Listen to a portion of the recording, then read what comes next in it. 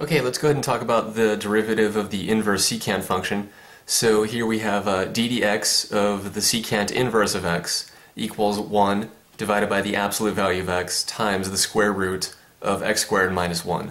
Okay, So um, this one's a little bit strange in that it has this absolute value in it here. Um, and actually, there are at least three different ways to prove this uh, that I know of, uh, maybe four, I don't know. But uh, one of them, we could do it like uh, the way we prove the derivative of the inverse sine function, um, but that's going to be kind of complicated and messy, so let's try to avoid that. Uh, another way is uh, to use the chain rule, but we haven't talked about that yet, so we're not going to do it that way. Um, and then the third way uh, is with some kind of uh, tricky algebraic manipulations. They're not even really that tricky, but let's go ahead and do those. Um, so let's start by saying y equals the uh, inverse secant of x. Okay. All right. So first, um, before we move on, what we want to remember is uh, what's the range of the inverse secant function. So the range uh, of the inverse secant uh, of x is what? Well, in interval notation, it's uh, 0 to pi over 2 okay, like that, and then union pi over 2 to pi. Okay, so this is just a refresher um, from trig, I guess. Uh, 0 to pi over 2, and then union pi over 2 to pi. So remember, uh, this closed bracket means includes 0, closed bracket over here includes pi, and then the open parenthesis over here and here means we don't include pi over 2. So in other words, um, it's everything from 0 to pi except for pi over 2. Okay, that's what the range of the inverse secant function is. So um, remember the range, that's the set of all the output values, right? That's the set of all the uh, y values here. Okay, so um, this means 0 is less than or equal to y is less than pi over 2. All right, and this one over here means pi over 2 is less than y is less than or equal to pi. Okay? So um, hold that thought just for a second, then let's go ahead and uh, come back over here. So if y is the inverse secant of x, then that means x, oops, that means uh, x equals, let's go ahead and get a new color here. Uh, this means x equals the secant of y. Okay? So here we have x uh, is a function of y, so let's go ahead and take uh, the derivative of x with respect to y. So in other words, we're going to do dx dy. Okay, and uh, secant of y, you know, that's just a regular trig function, right? We already know the derivative of that. Um, if we take the derivative of that with respect to y, we're going to get secant of y times the tangent of y. Okay, so if x is secant of y, then uh, derivative of x with respect to y is secant y tangent y. Okay, now um, we're going to do some algebraic manipulations here, but before that, we want to come back over here and note uh, y is between 0 and pi over 2 like this, or it's between pi over 2 and pi like this. Okay, so this corresponds to quadrant 1. Okay, if 0 is less than or equal to y is less than pi over 2, then uh, y is somewhere in quadrant 1, right? Um, and if y is in quadrant 1, then secant of y and tangent of y are both positive. Okay, and if you multiply two positive numbers, then you get another positive number. How about over here? Uh, if y is between pi over 2 and pi like this, then um, y is in quadrant 2. Okay? And if y is in quadrant 2, then secant of y and tangent of y are both negative. Okay? So if you multiply two negative numbers together, you get another positive number. Alright? Um, tiny little detail, if y equals 0, then uh, tangent of y is 0, and you just have 0, not a positive number, but that's okay. And same thing, uh, if y equals pi, then tangent of y is going to be tangent of pi, which is 0. But again, uh, that's okay. Alright, so um, basically, no matter what y is, okay, as long as it's in this uh, valid range here, uh, we're always going to get something 0 or positive over here. And because of that, we could say this. Okay, so uh, what we can do is square this and then take the square root of it and we'll just get the same thing. Alright, so that's going to be uh, secant squared y times tangent squared y.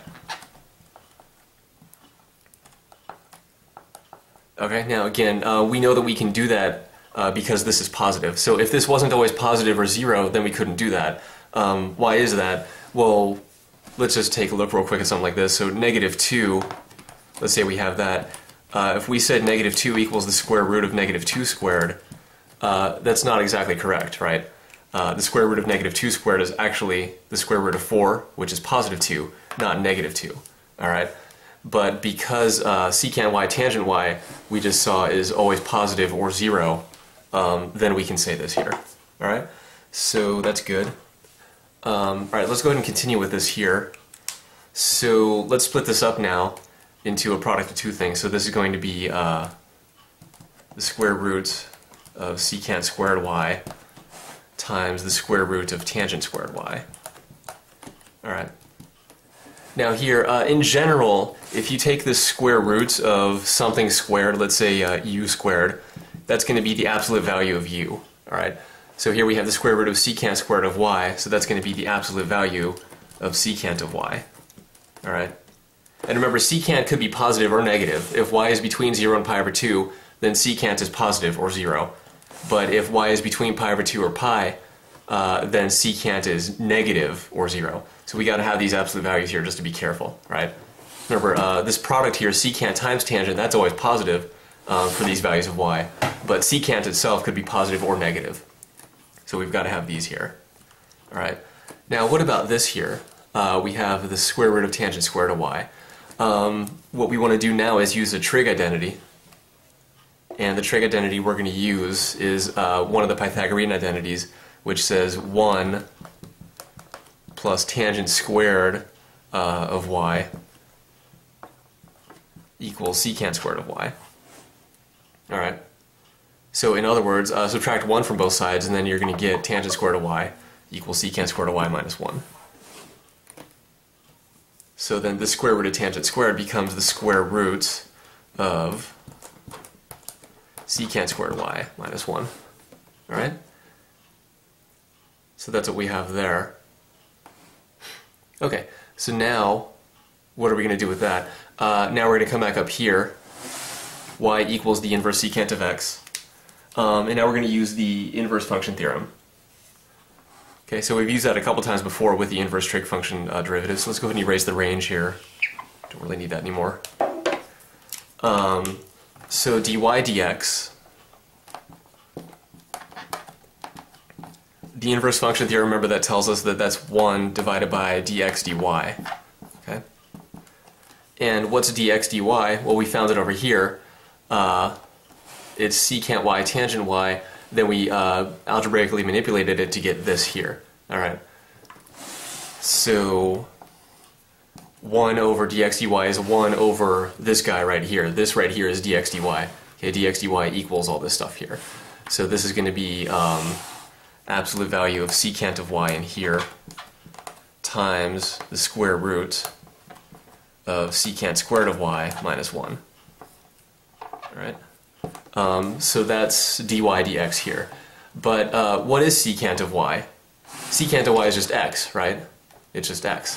So uh, remember, we want to eventually express this in terms of just x because it's dy dx. Okay, y is a function of x, so the derivative of y with respect to x should also be just a function of x. Right? And here's a secant y, here's a secant squared of y. So secant y is just x, so we can put that uh, back into here. And then what we're going to get is 1 over the absolute value of x times the square root of x squared minus 1. Alright? Um, so that's where that absolute value comes from, uh, is this step right here, when we took the square root of secant squared. Um, and this is our desired result here, right? 1 over the absolute value of x times the square root of x squared minus 1. And that's the derivative of the inverse secant. So let's go ahead and just recap what uh, happened real quick. So we started with y equals the inverse secant of x, right? And then uh, we found out, or we remembered what the range was. It was uh, between 0 and pi, except for pi over 2, okay? And uh, if y is the inverse secant of x, then that means x is secant of y. So we can take the derivative with respect to y, and we get secant y times tangent of y, all right? And then we said, okay, if y is between 0 and pi over 2, then secant of y times tangent of y is always a positive number or it's 0 And if y is between pi over 2 or pi, then secant y times tangent y is, again, always positive or 0. All right. Um, so because of that, we can say this equals the square root of that squared. Now remember, we have to know that this is always positive or 0, because if this is ever negative, then we can't say this. All right. Um, but it's not negative for those values of y uh, in the range, in the range of the inverse secant. Okay, so this is not negative, so we can say this. Um, and then we want to simplify this, so we split this up. Um, square root of this times that is the square root of this times the square root of that. All right. Now the square root of secant squared is the absolute value of secant, and we have to have these absolute values because secant itself could be positive or negative. All right, for those values of y in the range of inverse secant. Um, but remember, when we multiplied it by tangent, it was always positive or zero. But uh, secant by itself could be negative, so we have to have these absolute values. Um, and then here, tangent squared of y, we use the Pythagorean identity 1 plus tangent squared equals secant squared. Then we subtracted 1 from both sides, um, and we put this into here. So now we have just in terms of secant, right? And that's good. So here's our dx dy. Okay, this was uh, dx dy, right? So then what we did was uh, we went back up here and we said, okay, y is inverse secant of x, so dy dx uh, equals 1 over dx dy. And that's the uh, inverse function theorem right here. Okay, And dx dy we know from down here is this guy right here. So we take this, put it up into here, and then we have this, um, and then we want to go back to the x variable instead of uh, y, right? So we want our answer to be in terms of x. So secant to y, secant squared of y, um, if y is secant inverse of x, then x is just secant of y. So this is just x, this is x squared, and that's how we got our answer here. And uh, that's the derivative of the inverse secant function.